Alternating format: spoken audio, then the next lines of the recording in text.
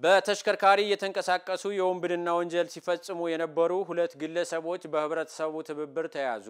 ሳጅን አዳነ ደስታ ዝርዝር አለው።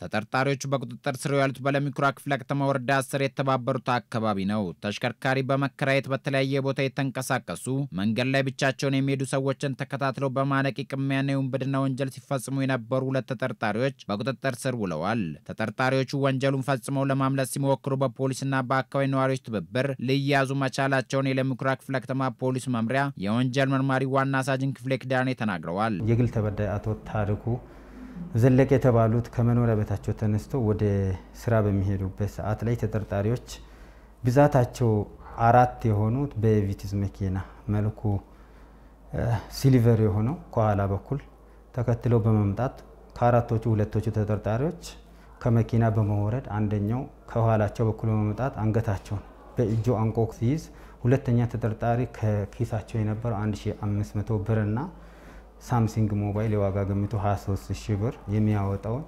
ንብረት አውጥቶ የግል ተበዳይ ሜዳ ላይ ከጣለው በኋላ ከአካባቢው ሲሰወሩ በፖሊስና በህብረተሰቡ ጥቆማ ፖሊስ በፓትሮል መኪና ተከታትለው እጅ ከፍንጅ የያዘበት ሁኔታ ነው የነበረው። አቶ ሮቤል ጴጥሮስ የመኪና አከራይ ሲሆኑ ለተጠርጣሪዎቹ ተሽከርካሪያቸውን ያለምንም በቂ መያዣ ማከራየታቸውን ገልጸው ሌሎች የተሽከርካሪ አከራዮች ከኔ ሊማሩ ይገባል ሲሉ አሳስበዋል። ይህን መኪና እርግጠኛ ነኝ ይመልሱልኝ ነበር፣ ወይንም ደግሞ ባይመልሱልኝም ወንጀላቸውን ሰርተው የሆነ ቦታ ላይ ጥለውት ነው የሚሄዱት። እንደዛ ሰምቻለሁ። ከዚህ በፊትም እንደዚህ አይነት case ኦች ሰምቻለሁ። ጥለው ይሄዳሉ። ከዛ ትራፊክ ፖሊስ ነው የሚያየው። ከዛ በኋላ አንተን contact ያደርግሃል። of course አድራሻ አለኝ። እኔ ጋር መመጣቱ አይቀርም። እኔ ጋር ደግሞ የሚመጣ ነበር case ኡ። እርግጠኛ ነኝ እኔ እንደሰራሁት ነው የሚቆጠረው። ይችንም ቀን አላይም ነበር ማለት ነው። በቁጥጥር ስር እውል ነበር። እስር ቤት እገባ ነበር። ልጆችን ማሳደግ ያቅተኝ ነበር ማለት ነው። ነገሩን ቀለል አድርገናል ነው።